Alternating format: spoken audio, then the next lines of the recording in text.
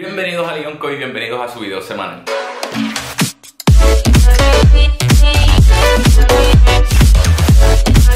Bienvenidos a Lionco y bienvenidos a su video semanal y continuamos para el mes de diciembre el tema de las inversiones.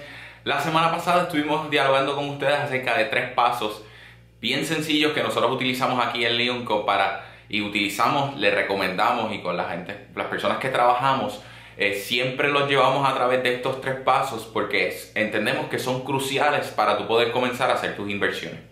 Eh, compartimos esa información bien valiosa para nosotros, eh, que te exhortamos que si no has visitado ese video, lo visites para que puedas tener un buen entendimiento cuál es nuestra mentalidad o cómo nosotros desarrollamos lo que es comenzar a hacer inversiones dentro de nuestro esquema aquí en Lionco.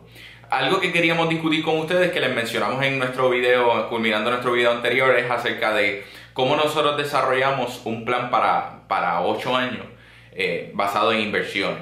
Eh, una nota bien aclaratoria, bien importante es que nosotros decimos que desarrollamos un plan de 8 años y es porque para algunos aquí nosotros en Leoncon es un año, es un plan de 8 años, pero para muchas personas puede ser un plan un poco más extenso dependiendo de su capacidad y dependiendo de las metas que se han desarrollado.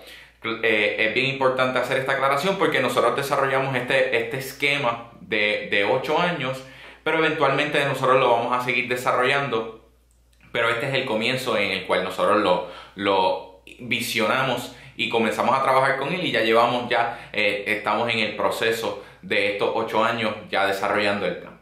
¿Y en qué consiste esto? Pues si estuviste eh, visitando nuestro video anterior en el cual discutimos nuestros tres pasos acerca de qué, la capacidad que tú tienes para invertir, eh, las compañías a las que quieres invertir y todo el problema para ir desarrollando tu portafolio, luego nosotros lo que intentamos es de inculcar a desarrollar un plan en el cual tú visualices y veas cuál es el desarrollo o cómo tú vas progresando dentro de tu vida financiera y dentro de tu vida de inversiones.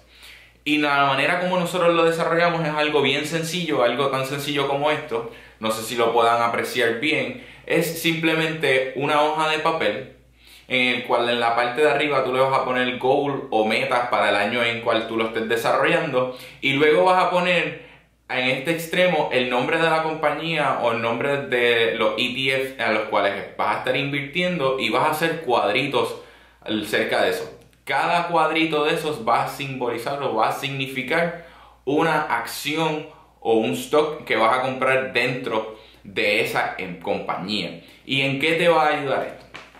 Nosotros entendemos que es una de las herramientas más valiosas que tú puedes entender y es algo tan sencillo como tú sentarte un día con una hoja de papel, un lápiz, un bolígrafo, una pluma, lo que tú entiendas y va a ser una de las herramientas más fuertes o más productivas que tú vas a tener. Yo en mi carácter personal lo hago todos los años, cada vez que termino una de mis metas, desarrollo una nueva y lo coloco, lo pego en la puerta de mi habitación. ¿Y por qué? Porque me ayuda a visualizar claramente hacia dónde estoy dirigido, en dónde estoy y de dónde he venido. Y eso es algo bien importante durante nuestro camino en cualquier meta que tú te desarrollas es a veces un poco frustrante o no ves el camino que has alcanzado durante el proceso. Y este ejercicio de simplemente tú sentarte con una hoja de papel y ir desarrollando tus metas y algo como cuadrados que tú los puedes ir marcando cada vez que vas alcanzando poco a poco hasta alcanzar esa meta, te va a autosugestionar, a motivarte a querer ser más productivo porque estás viendo tus metas siendo alcanzadas. Ese es el primer paso que nosotros, nosotros utilizamos en el desarrollo de este plan. Es, luego que tú tienes desarrollado tu portafolio, vamos a sentarnos y establecernos metas anuales. Bien importante eso, metas cada año de cómo tú quieres hacer o qué quieres alcanzar ese año en cuestión de tus inversiones. Bien importante es ser real, ser realista cuando el momento en que vas a desarrollar estas metas.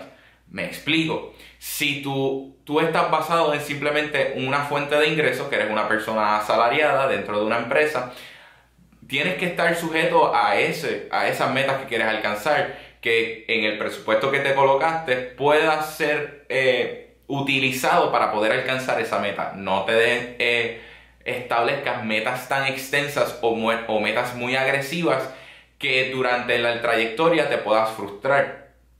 Haz una meta, comienza los primeros años con metas en las cuales tú entiendas que las puedas alcanzar de una manera no necesariamente fácil o cómoda, pero de una manera en la cual tú puedas ver el progreso continuamente. Y eso es algo bien importante.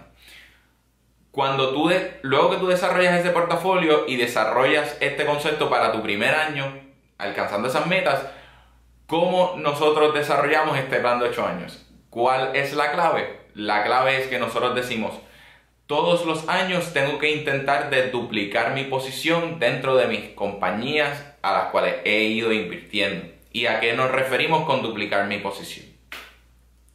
Si tú te estableciste una meta el primer año que tú quieres obtener, decir 10 acciones de la compañía Nike. Quieres tener 10 acciones de Nike para tu primer año. Pues tu segundo año debería ser duplicar tu posición de tener 10 acciones, lograr tener 20 acciones de la compañía Nike.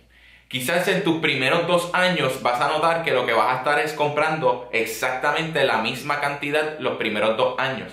Pero ¿qué va a significar después de ese tercer año? Cuando ya tú tienes 20 acciones de la compañía Nike, en tu tercer año tú vas a duplicar tu posición. Lo que estamos diciendo es que vas a tener que comprar 20 acciones para tener un total de 40. Y así subjetivamente por las compañías en las cuales estás desarrollado dentro de tu portafolio.